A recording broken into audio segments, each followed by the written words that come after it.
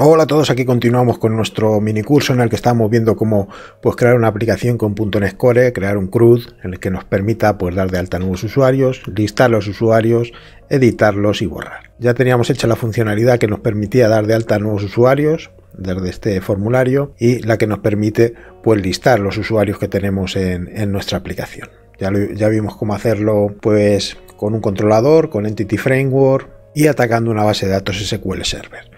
Hoy lo que vamos a hacer es pues el editar y para hacer el editar necesitamos por un lado que al pulsar este botón pues nos permita eh, obtener los datos de este usuario y luego hacer el mecanismo de edición. Como ya tenemos hecho el formulario del nuevo usuario, lo que vamos a hacer es adaptarlo para permitir editar. Y la idea es que cuando seleccionemos pues, un usuario de los que tengamos aquí, nos pase los datos, tengamos los datos del usuario, de este usuario en concreto, y luego pues, el botón de guardar, pues que nos guarde eh, las modificaciones hechas sobre, sobre ese usuario. Esto es lo que vamos a hacer en el vídeo de hoy. En el siguiente que finalizaremos este CRUD, pues ya haremos la opción de, borrar y quizá pues hagamos, también pues algún mecanismo para buscar usuarios, ¿no? Que siempre viene bien en, las listas en las que podemos tener muchos registros, pues este tipo de filtros. Y nada, pues si queréis empezamos adaptando primero eh, la vista Razor, nuevo usuario Razor y para ello pues ¿qué tenemos que hacer? Pues decirle que además de llegar con con esta ruta en la que llegábamos, para dar de alta a un usuario, pues ahora decirle que acepte esta otra ruta, ¿vale? Que nos permita llegar con la ruta usuario editar y con un parámetro. Este parámetro es el que vamos a recoger para obtener de base de datos los datos de nuestro usuario.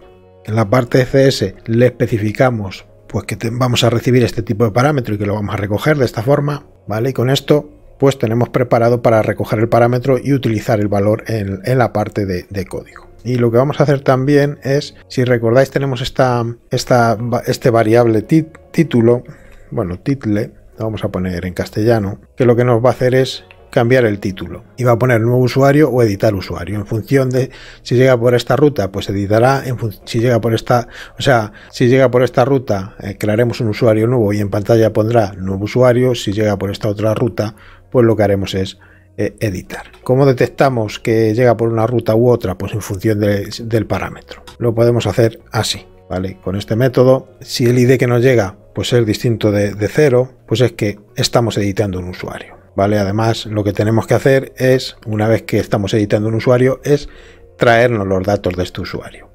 Esta petición es muy similar a la petición get que tenemos hecha en In the Razor, muy similar a esta, lo único que en vez de traer una lista de usuarios, pues trae un único objeto usuario y en la petición hay que llamar a este punto de entrada y decirle pues el identificador de usuario. Esto es lo que tendríamos que hacer para obtener los datos. Posteriormente, cuando vayamos a editar, pues tenemos que poner lógica aquí y en vez de una petición post será una petición put. Pero primero vamos a ver si efectivamente nos traemos los datos de los usuarios. Vale, ya tenemos aquí preparada la llamada, pues ahora hay que ir al controlador. En el controlador tenemos un método get que nos listaba todos los usuarios y tenemos un método post que lo que hacía es dar de alta nuevos usuarios. Pues vamos a añadir otro método get, pero esta vez que reciba un parámetro de entrada.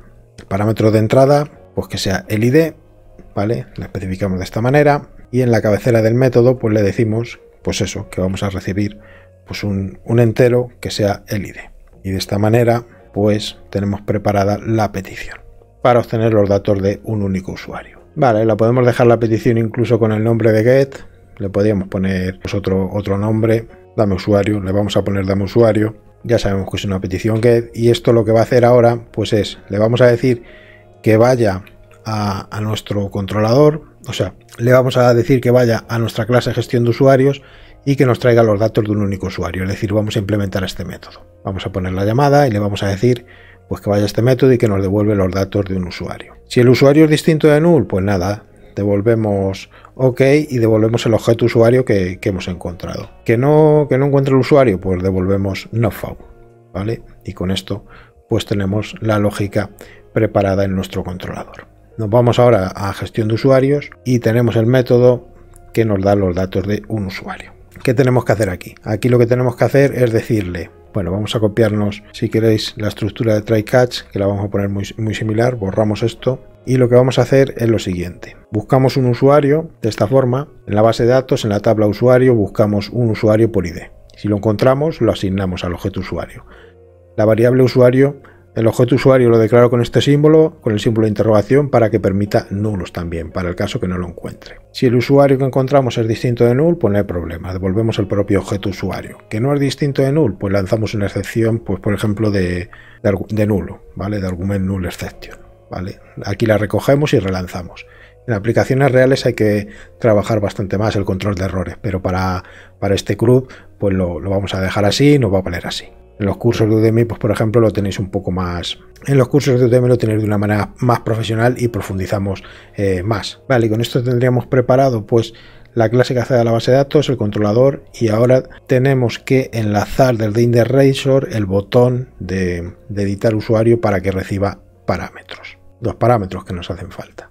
Vale, de tal forma, pues que le vamos a decir que le hemos puesto aquí en un usuario que ahora acepte esta ruta usuario editar ID. Pues nada, le tenemos que mandar exactamente esto.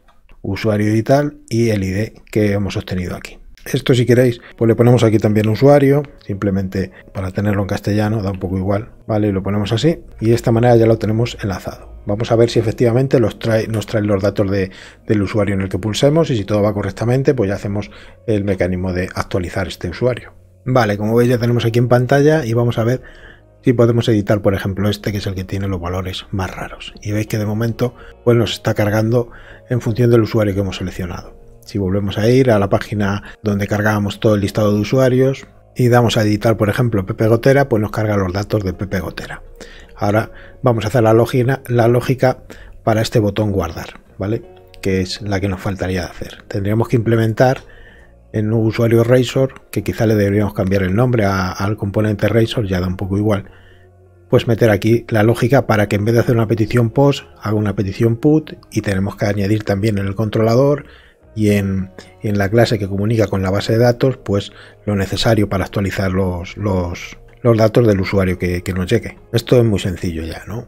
Igual que tenemos la petición post, pues ponemos una petición put, ¿vale? Ahora es el mismo el mismo tipo de objeto y la misma ruta. Lo único que cuando llega al controlador, pues como la petición va a ser HTTP put y vamos a tener aquí definida únicamente una, pues lo que va a hacer es irse a esa petición HTTP put. La ponemos tal que así y le vamos a decir, aquí le podemos decir modificar y le vamos a decir pues que vaya al método de actualizar usuario de nuestra clase que se comunica con, con nuestra base de datos, ¿no? la clase gestión de usuarios.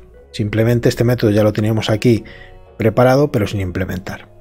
El método actualiza el usuario, veis que lanzamos una excepción de no implementado, pues lo que vamos a hacer ahora es implementarlo. Y tampoco tiene mayor complejidad.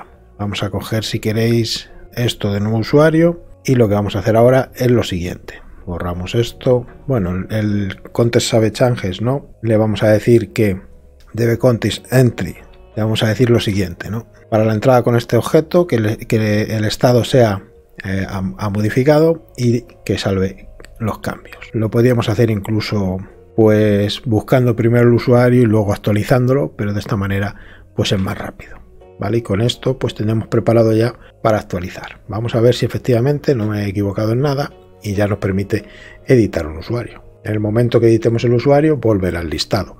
Era la misma lógica que le teníamos puesto. Y ya pues simplemente nos quedaría el mecanismo de borrado para completar este cruz. Como digo, nos quedaría para el siguiente vídeo implementar el borrado y quizá le ponga pues por aquí un cuadrito para buscar pues por el nombre, por el apellido algo así, lo típico. Vamos a ver si efectivamente pues, funciona lo que hemos implementado para editar. Y ponemos aquí Manolito 56, mismamente, apellido apellido, pues esto mismo, el teléfono 123 como digo, no hemos metido expresiones regulares, simplemente pues que compruebe que los campos sean obligatorios, se podrían meter esas validaciones. Y el mail, pues bueno, vamos a poner manolito56 arroba email, vamos a ver si efectivamente guarda. Vale, de momento parece que lo ha hecho todo correctamente porque ya está en el método que nos devolvía la lista de todos los usuarios, ahora lo vamos a ver en la pantalla principal. Vale, aquí nos tiene que aparecer ahora cuando reaccione esto que se ha quedado ahora como que no responde por el tema de estar grabando a la vez, cuando reaccione pues nos tiene que devolver la pantalla principal. Y efectivamente pues aquí tenemos la pantalla con los cambios, ¿no? con los cambios que hemos hecho que lo, refleja perfectamente.